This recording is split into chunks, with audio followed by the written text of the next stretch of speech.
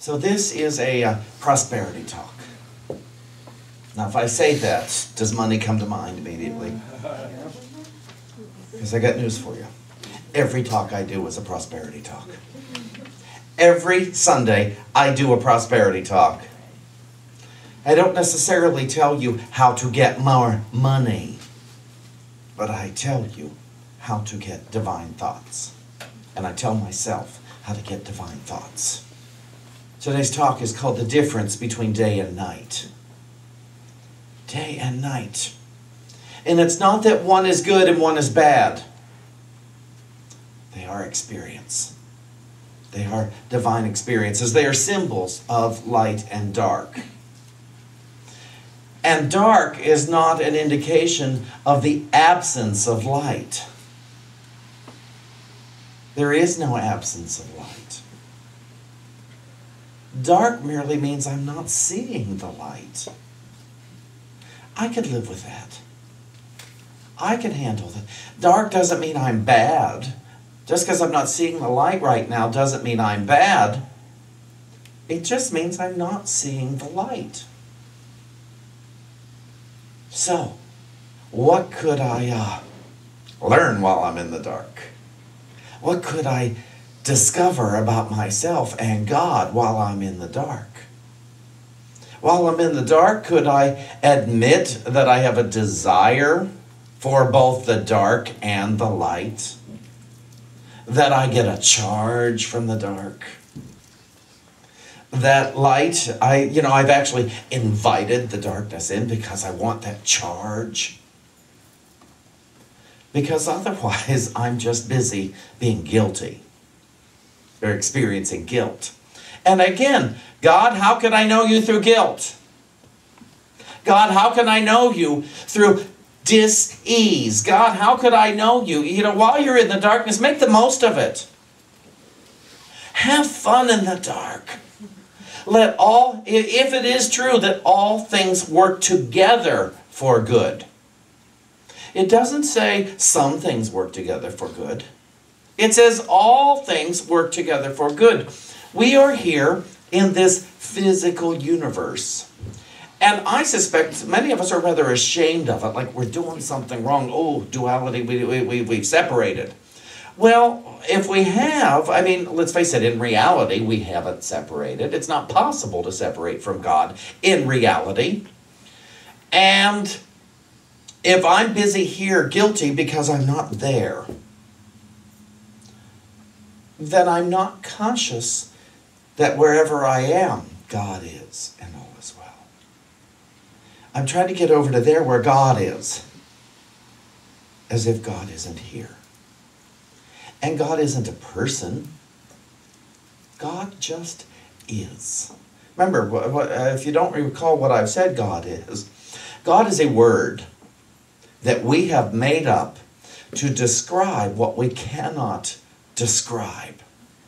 It's just a word, and it's a silly word at that. I think it comes from the Germans, actually. You know, gut, uh, and it's and it, it, was taught in ancient mystery schools as a vibration. That's where we get our God, our God vibration from. When I learned that, oh, it's a vibration. Oh, well, vibration doesn't sound like a personality, does it? Vibration doesn't sound like some old man that might or might not give me something. Vibration doesn't sound like some old man who's going to punish me. Vibration is energy. And so I can vibrate, vibrate high or low. I'm never not vibrating. I'm always working with light and darkness. Always working with light and darkness. When? Always. I'm in a body. I'm going to vibrate at different levels all day long. And some of those vibrations I like, and some of those vibrations I do not care for because I'm vibrating low and it hurts and I'm, I'm and suddenly I'm, I'm in such a dark place that I'm afraid of the light. It's like I'm terrified of the light. I'm afraid the light's going to come and uh, be mad at me because I was vibrated so dark and so low. And that's my crazy thinking. I'm not stupid. I'm crazy. Just a little crazy, a little insane, maybe a lot insane. Depends how low I want to push the vibration down, but the vibration never stops. The vibration never stops. One thought of light starts to lift the vibration, and another thought of light starts to lift the vibration. And light doesn't always mean the word light, it could be love, truth, wisdom, forgiveness, whatever I want to use, God, Jesus, whatever word works for you to lift up and lift up and lift up and lift up. And to get it, oh, I'm just vibrating all the time at one level or another. But that's all I'm ever doing is vibrating. Wherever I am, God is, and all is well.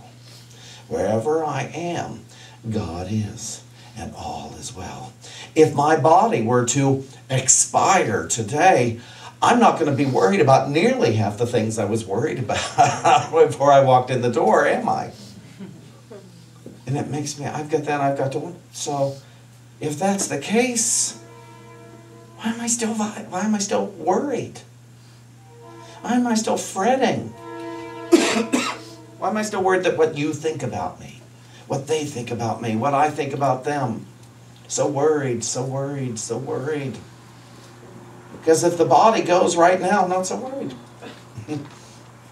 or an inspiration comes into my consciousness, not so worried. With the thought of light, I'm not nearly as worried about stuff as I was. With divine understanding and correct perception, I'm not worried at all. When I know, when I see things as they truly are, I'm not worried at all. I may not know exactly what to say and do, but I could within a second. All I have to do is pray. And what is prayer except connection with God? It's not begging God, give me this answer because I don't. It's, I'm now willing to know. I'm now willing to know. Suddenly I have turned all this darkness into light. I have transformed. And so the darkness doesn't mean anything anymore. Once I have exited the darkness, it's not a concern.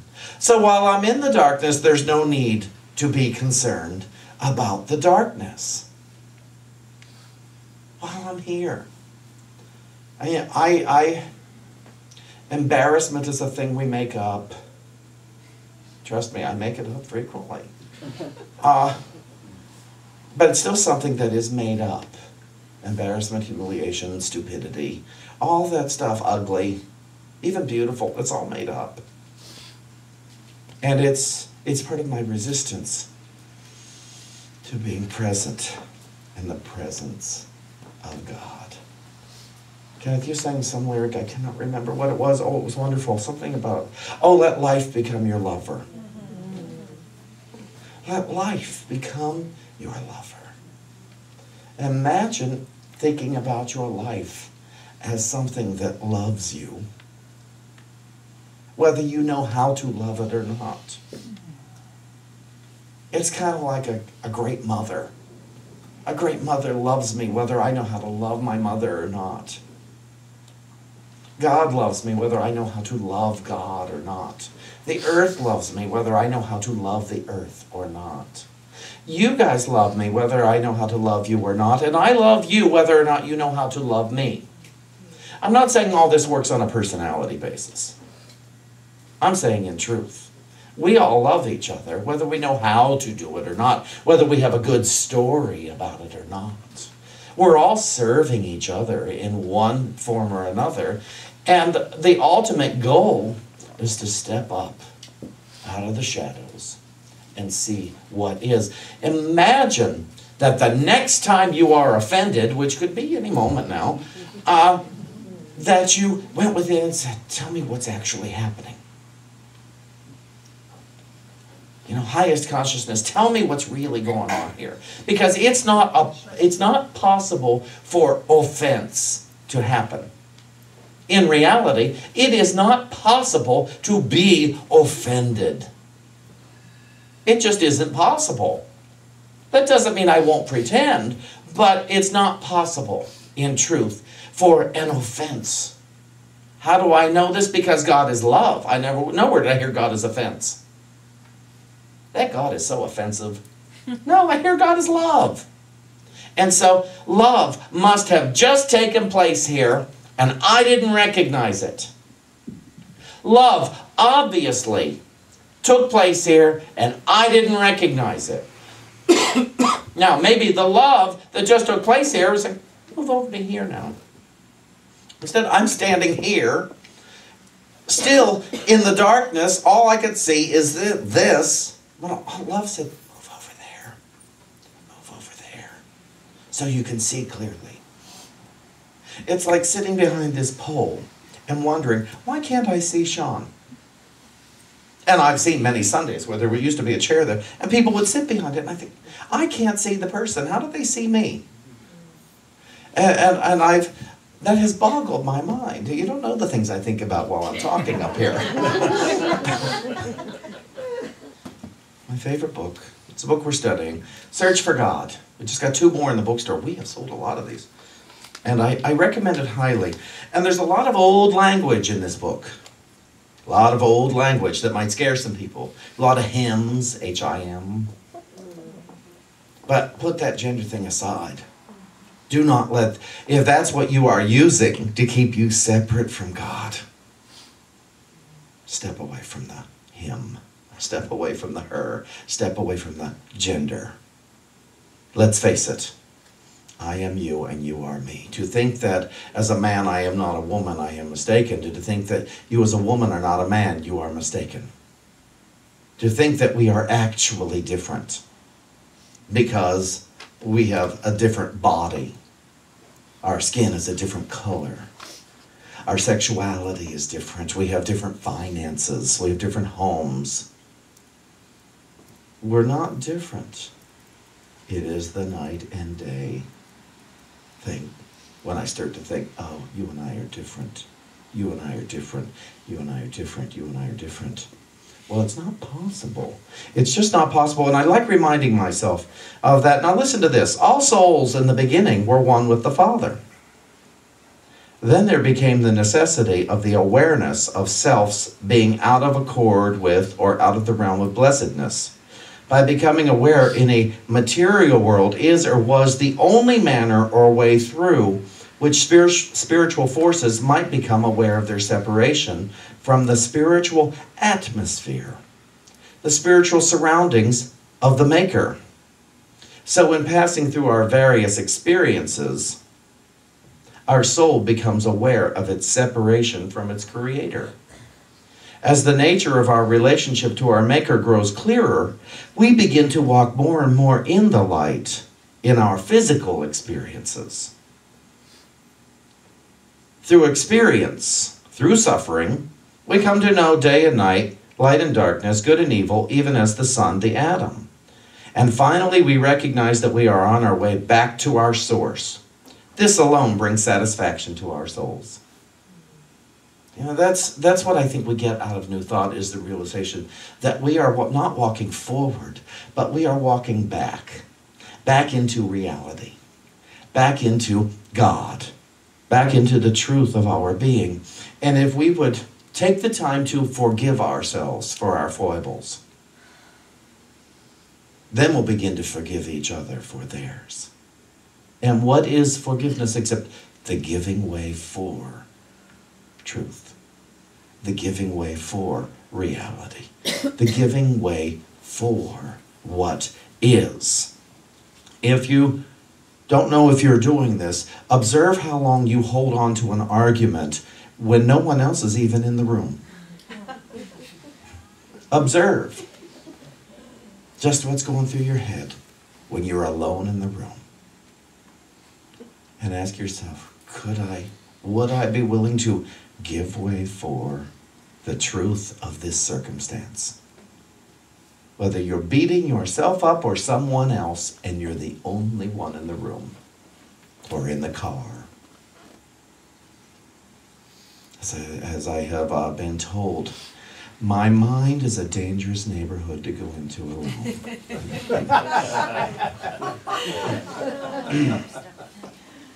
Today is the day of opportunity. Each span of life is just another extended opportunity for a light to break forth within us. A majority of us devote the activities of a day to supplying ourselves and others with the material things of earth. Bread, shelter, clothing must be provided in proportion to the life pattern which we have builded. These th- things and the luxuries which seem necessary for the body's welfare cannot be made the ideals motivating our daily activities. So when you start to think, but I've got to support my household, go to God. Go to God first. It says, But seek ye first the kingdom of God and his righteousness, and all these things shall be added unto you. So, I ask you whether you live alone, whether you live with others. Have you sought the kingdom in furnishing your home? Have you sought first that your walls be made of love? That your floors be carpeted in truth? That your doors be the opening of wisdom? So all the rest may be brought to you, may be provided to you. That your body be clothed in well being could you bear it to seek first the kingdom? Or there is an alternative, and it's one many of us have gone to. Do you prefer the thought, I can't provide for my home? There's not enough for the furniture I want. We need more food, we need this, we need this, we need this, we need this, which you can clothe your your shack in lack, your hovel, in lack, and I don't care what size it is or how much it costs. If there's an absence of love in your mind, it's a shack. It's a broken down piece of nothing. But if it's clothed in love, it doesn't matter what it look like, looks like or how much it costs. That's why I always say when you get to your front door, you declare, only love lives here. And you go through each room only love lives here. Declare a thing and make it so. It's not an affirmation, it's a pronouncement of what your willingness is willing to see. Only love lives here. Only love lives here. Sometimes I go through here and I declare to each chair, only love sits in this chair. I'm not concerned with how many bodies come here on Sunday, although I'm willing for every body in town to show up one Sunday if they wanted this message. But I'm not not enough because of the number of people who show up here. And I'm not a lot because of the number who, of people who show up here. I am Shawn, Son of God, and I showed up here today. And you are you, Son of God, and you showed up here today because this is what you want. And so we showed up here together today because we want the light and we don't want to hate the dark anymore. We don't want to fear the dark anymore. And so we can actually transform the dark into light. We can transform our unrighteous thoughts into truth. What I like to do is take my thoughts that I don't get, the thoughts of hatred, the thoughts of demons, the thoughts of like, and I say, okay, Spirit, take them and give them back to me in truth. So then I will know what to do. If they're my thoughts, I need to learn what to do with them. Your thoughts, keep them to yourself. You give them to God and come back to me when you know what to say about them. something else I thought I wanted to read here. But no, so I will read this short passage. Very short passage.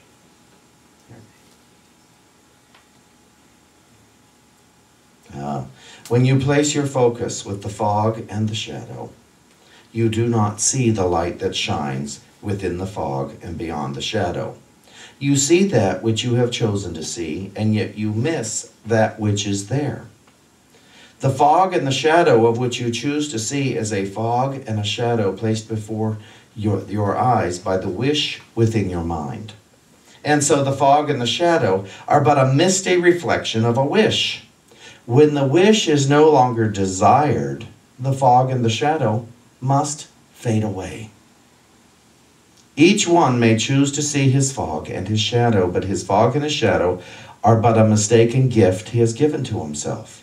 It is given to no one else. It is his alone. And so, if the fog and shadow, as they seem to exist, exist only for him, the fog and the shadow cannot be truth. For truth must be true for all. But I want to invite you today in this prosperity talk. I, I, I ask each and every one here to admit that only the truth is true. That only the truth is true and nothing else could ever be true. That only the truth is true and nothing else could ever be true. And so, dear Spirit within me, reveal to me the truth of my being Reveal to me the truth of my neighbor's being. Reveal to me the truth of air, wind, fire, rain. Reveal to me the truth of my body. Reveal to me the truth of my neighbor's body, my mother's body, my father's body, and my child's body. Reveal to me the truth of my wealth. Reveal to me the truth of my perceptions. Reveal to me the truth because only truth is true, and nothing else could ever be truth. Only the truth is true, and nothing else could ever be true. I am now infused. I am now infused with the truth. I am infused with light. I am infused with wisdom. I am infused with joy. I am infused with the good that is. And I open my eyes to see it. And it is done. Thank you.